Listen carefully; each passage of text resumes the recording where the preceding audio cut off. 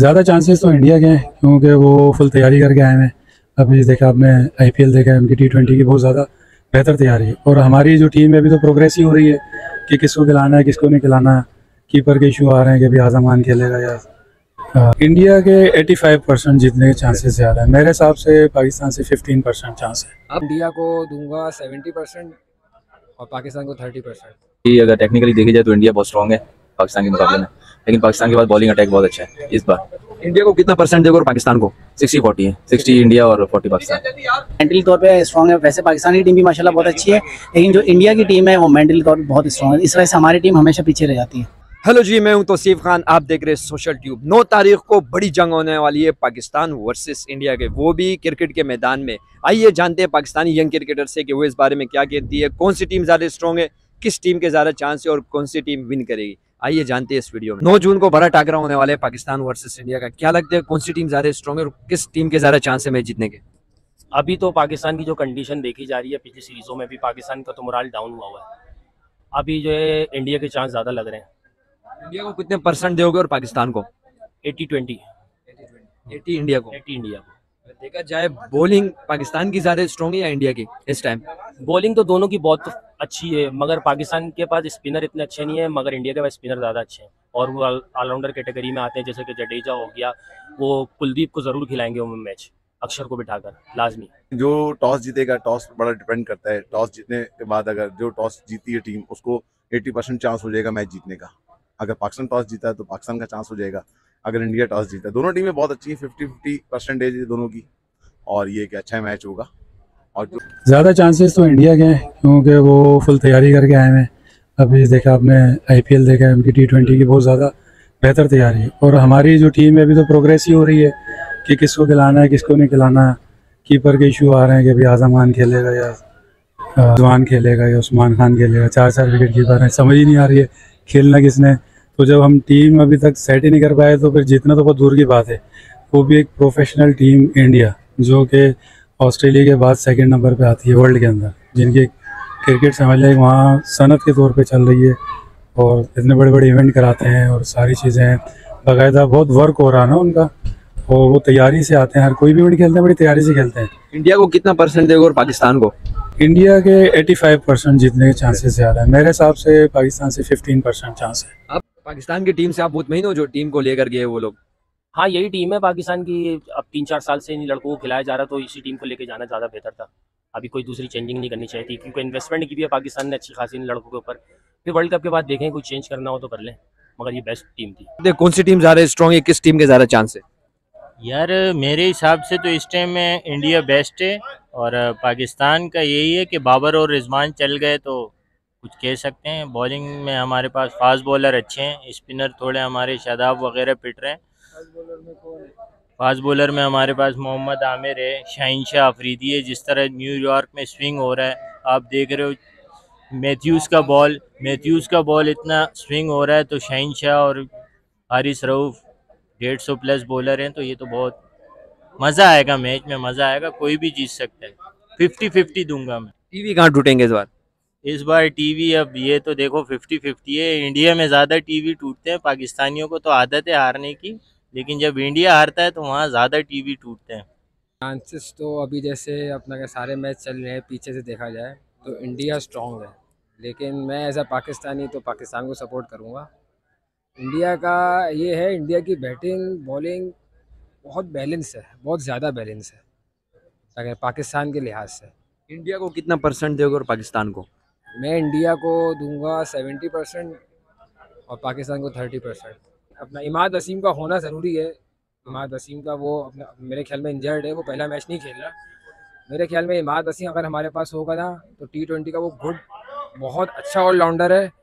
और अपना कहना है इसके पास एक और भी है कि वो पावर प्ले में गेंद कर लेता है अच्छी करता है गेंद तो अपना इमाद वसीम का होना ज़रूरी है। तो हम इंशाल्लाह पकड़ लेंगे ऋषभ पंत वगैरह जो भी है। क्या लगता है बाबर आज़म का बल्ला चलेगा इंडिया के खिलाफ?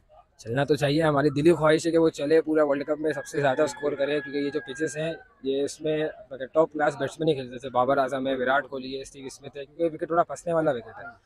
जितना स्टे हो खेलेंगे जैसे बाबर रिजवान ये दो हमारे की प्लेयर है। अगर ये दो खड़े हो गए ना डेढ़ सौ रन भी करेंगे ना इंडिया को इंशाल्लाह पकड़ लेंगे। क्योंकि पिच जो है बॉलर के फेवर में जा रही है। पिच बॉलर के फेवर में सबसे पहली बात तो टॉस टॉस देके होता है अल्लाह के हाथ में लेकिन टॉस बहुत इंपॉर्टेंट है। अगर टॉस हम जीतते हैं पहले बॉलिंग करते हैं तो हम इंशाल्लाह इंडिया को ऐसी हमारी बॉलिंग है कि हम सौ रन तो पकड़ लेंगे इंडिया को। मतलब डिपेंड जो करते हैं वो टॉस पे करेगा। टॉस पे करेगा। बाकी देखें अल्लाह के ऊपर है जैसे पाकिस्तान दस रन से अपना कहें दस विकटों से हराया था इंडिया को वो भी एक बाई चांस था। क्या लगता है इस बार दस विकटों से हरा पाएँगे? बहुत मुश्किल है लेकिन हमारी तो उम्मीद तो है। उम्मीद पे दुनिया कायम है। टीवी कहाँ टूटेंगे इस बार?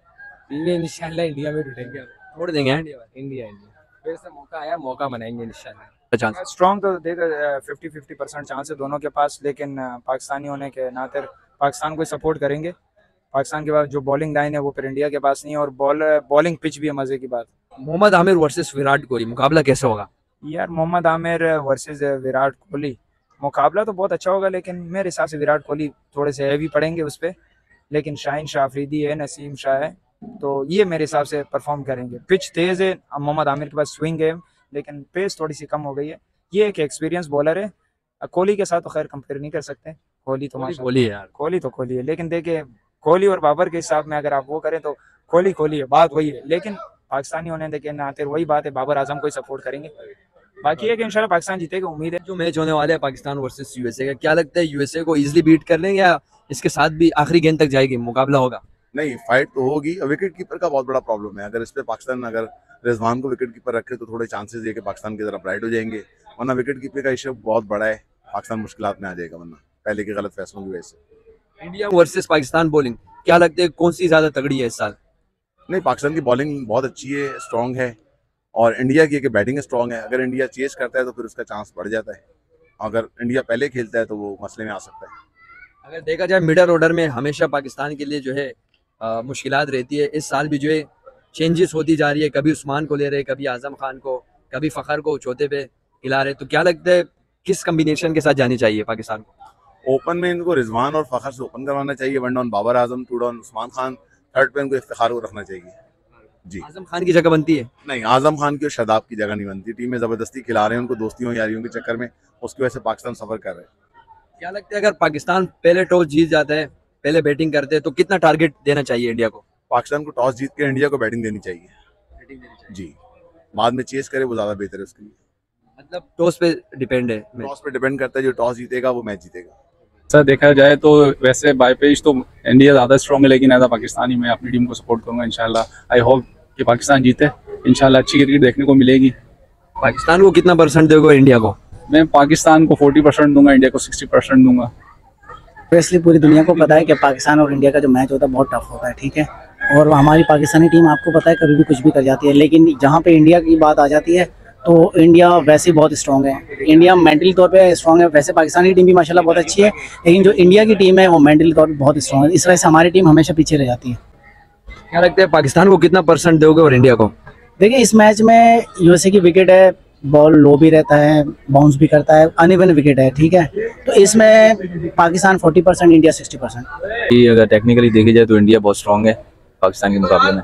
लेकिन पाकिस्तान के पास बॉलिंग अटैक बहुत अच्छा है इस बार। इंडिया को कितना परसेंट दोगे और पाकिस्तान को? सिक्सटी फोर्टी है सिक्सटी इंडिया और फोर्टी पाकिस्तान। चला यार हमारी तो कौम है पाकिस्तानी है हम तो हम दुआ करेंगे पाकिस्तानी जीते।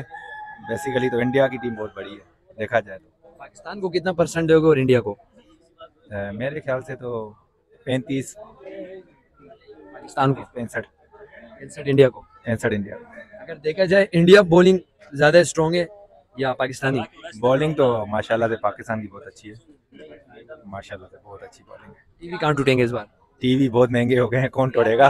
महँगाई हो गई इंडिया में ही टूट सकते हैं पाकिस्तान में तो नहीं टूटेंगे जैसी महँगाई चल रही है। आमिर वर्सेस विराट कोहली मुकाबला कैसा होगा? माशाल्लाह दोनों लेजेंड्स प्लेयर हैं विराट विराट है आमिर आमिर है। वैसे हम तो चाहेंगे कि आमिर आउट करे हमको खुशी होगी। है। विराट कोहली की विकेट जल्दी लेनी चाहिए। अगर विराट कोहली खड़ा हो जाते तो वो स्कोर बना देते पाकिस्तान के खिलाफ। ये है कि हर हर दफ़ा विराट पाकिस्तान के अगेंस्ट बहुत अच्छा खेलता है। उसका सितारा भी फजा में है अभी उस पाकिस्तान के खिलाफ। हम तो बोलते हैं कि विराट आउट हो जाएगा तो हो सकता है कि पाकिस्तान परसेंट अपने पास आ जाएगा मैच पाकिस्तान फिर पकड़ सकती है इनको। फिर कोई ऐसा बैट्समैन नहीं है मेरी नज़र में, जो पाकिस्तान पे हावी हो सके। जब तक विराट खड़ा रहेगा तो हो सकता है उसके उसके साथ खड़े होने से कि दूसरे प्लेयर भी रन कर जाते हैं। पर देखा जाए तो इंडिया की टीम बहुत बड़ी है, लेकिन हमारे बैट्समैन जो है इस टाइम फॉर्म में है। जैसे कि बाबर आज़म बहुत बड़े प्लेयर हैं, माशाल्लाह से बिल्कुल फॉर्म में हैं। हमारे कप्तान भी हैं, और उनके साथ रिजवान की जोड़ी बहुत अच्छी चल रही है। तो इन पूरी कोशिश होगी कि हमारी टीम अच्छा स्कोर टारगेट दे। हमारी पावर जो है वो बॉलिंग है। और हम इन उनसे रन चेस करने नहीं देंगे। बाबर आज़म को किस प्लानिंग के साथ जानी चाहिए? पहले अगर टॉस जीतते हैं तो क्या करना चाहिए? टॉस जीतकर पाकिस्तान को बैटिंग करनी चाहिए।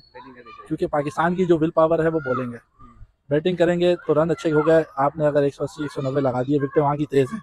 बाउंस है विकटों पे अच्छा है। और हमारे पास अच्छे बैट्समैन हैं जो अभी इंग्लैंड से खेल के आए हैं तो बाउंसी विकटों पे खेल चुके हैं। तो इसलिए इंशाल्लाह हमारी टीम बहुत अच्छा परफॉर्म करेगी। विराट कोहली वर्सेस मोहम्मद आमिर मुकाबला कैसे होगा? कोहली को पहले भी हमारे आमिर भाई ने बहुत दफ़ा आउट किया और इंशाल्लाह इस दफ़ा भी आमिर भाई उनको आउट करेंगे। यार ऑब्वियसली बात है दिल बोलता है पाकिस्तान। स्ट्रॉन्ग कौन सी टीम है? अगर देखा जाए इंडिया स्ट्रॉन्ग है या फिर पाकिस्तान? स्ट्रॉन्ग बेसिकली यार देखा जाए तो स्टैट्स में इंडिया फेवरेट है। ठीक है क्योंकि बहुत अच्छा कॉम्बिनेशन उन्होंने खिलाया है। और पाकिस्तान का भी कॉम्बिनेशन इतना बुरा नहीं है लेकिन मेंटली स्ट्रॉन्ग इंडिया